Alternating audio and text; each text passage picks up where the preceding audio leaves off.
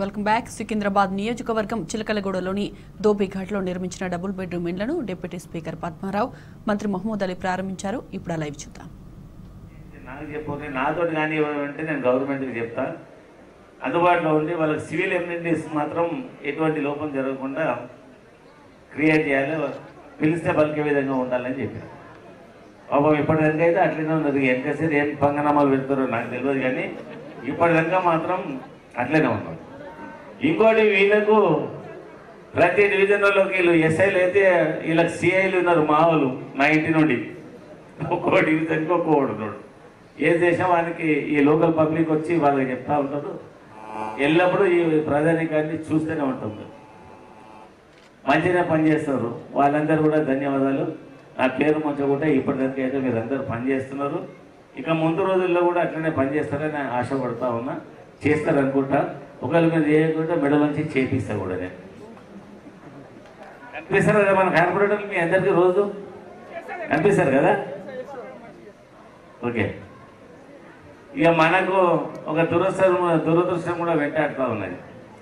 ముఖ్యమంత్రి గారికి హైదరాబాద్ నగరం నుండి డే వన్ నుండి ఎబ్బడున్నా ఎబ్బడున్నాక మేము ఎప్పుడు ఆశపడలేదు రాష్ట్రం ఏర్పాటు అవుతుందా కాదా? మన ప్రభుత్వం వస్తుందా రాదా? ఇవన్నీ దృష్టిలో పెట్టుకొని పనిచేయాలి అప్పుడు. మాకేం తెలుసు రాష్ట్రం ఏర్పాటు అయితే మా వంతు ప్రయత్నాలు చేస్తా పోయినా ముఖ్యమంత్రి కూడా struggle చేస్తా ఉండండి కానీ రాష్ట్రం బైఫర్కేట్ అవుతుంది మన తెలంగాణ మనకు వస్తుంది మన తెలంగాణలో గవర్నమెంట్ వస్తుంది మంత్రులు అవుతామో ఎమ్మెల్యే అవుతాం మేము ఏది మాకు తెలియదు. అడవిలో పోతా పోయినాం. జెండా పట్టుకొని ముఖ్యమంత్రి గారు పోయారు పార్టీ అధ్యక్షునిగా.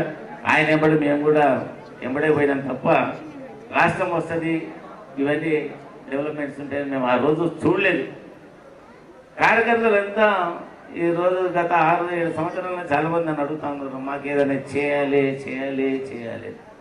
నా చేతులు ఉంటే ఒకటే దినంలో ఇరవై నాలుగు గంటలలో చేస్తుంది కొన్ని ఇబ్బందులు ఏందో మంచిగా చూడడానికి ముఖ్యమంత్రి గారు నిర్ణయం తీసుకున్న తర్వాత ఇవన్నీ జరుగుతూ ఉంటాయి ఇన్ని రోజులు ఓపికతో ఉన్నారు ఇంకా కొద్ది రోజులు లోపుకేతోటి ఉంటే మీకు కూడా అవకాశాలు వస్తాయి. ఇప్పుడున్న కార్పొరేటర్కి ఎవరికి తెలియదు వాళ్ళు కార్పొరేటర్ అవుతారు సునీతకి టికెట్ ఇస్తే అరే ఆమెకి ఇస్తామని అడిగారు చాలామంది. కానీ గెలిపించుకున్నాను నేను.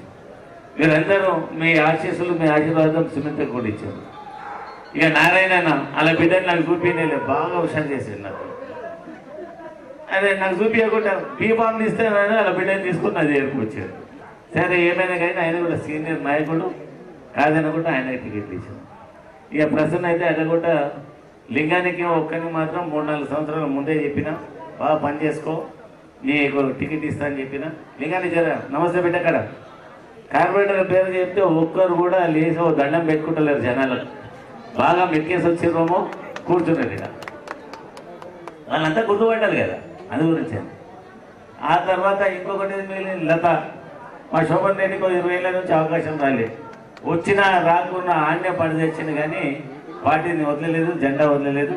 ఈసారి వాళ్ళ పార్టీకి ఇచ్చినాము. మళ్ళా సీనియర్ ఉన్నాడు అని చెప్పి డిప్యూటీ మేయర్ కూడా ఆమెకి రికమెండ్ చేశాను